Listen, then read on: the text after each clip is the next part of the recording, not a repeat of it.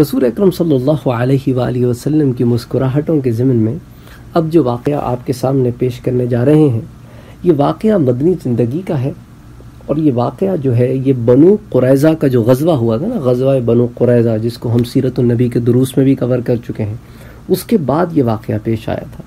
اس کو کئی سیرت کی کتابوں نے اور حدیث کی کتابوں نے نقل کیا ہے۔ اس کو حافظ ابن کثیر نے بھی نقل کیا ہے۔ اس کو احسن التفاصیر میں بھی یہ ملتا ہے۔ بہرحال واقعہ کچھ یوں ہوا کہ بنو قریضہ سے حاصل ہونے والا جو کثیر مال تھا، اس کا تقسیم کیا گیا، بہت خوشحالی آئی۔ تو یہ خوشحالی دیکھ کر ازواج رسول کو بھی اس کا خیال ہوا۔ انہوں نے بھی اللہ کے رسول سے سوال کر دیا۔ حضور اکرم صلی اللہ علیہ وآلہ وسلم کو اپنی ازواج کی اس دنیا طلبی پر سخت رنج ہوا۔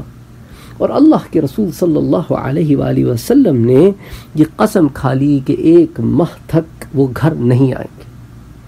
اچھا جب ایک ماہ ہونے کو تھا تو اللہ کے رسول نے سورہ احزاب کی آیتیں نازل فرمائی جو اٹھائیس اور انتیسویں آیتیں سورہ احزاب کی، جس میں اللہ نے حکم دیا کہ اے نبی صلی اللہ علیہ وآلہ وسلم، اپنی بیبیوں سے فرما دو کہ اگر دنیا کی زیب و زینت چاہتی ہو تو پھر اللہ اور اس کا رسول اور آخرت کا گھر نصیب نہ ہوگا۔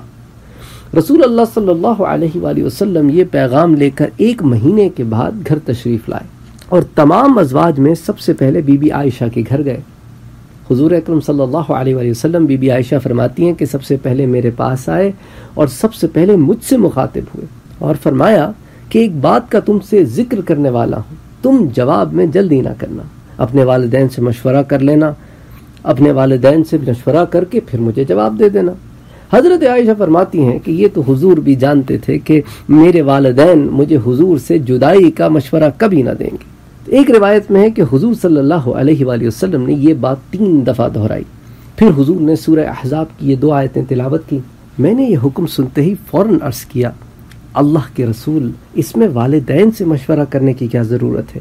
مجھے خدا، اس کا رسول اور آخرت کا گھر پسند ہے۔ حضور اکرم صلی اللہ علیہ وآلہ وسلم نے بی بی عائشہ کہتی ہیں کہ میرا جب یہ جواب سنا تو حضور خوش ہو کر مسکرا دیے۔ سبحان اللہ۔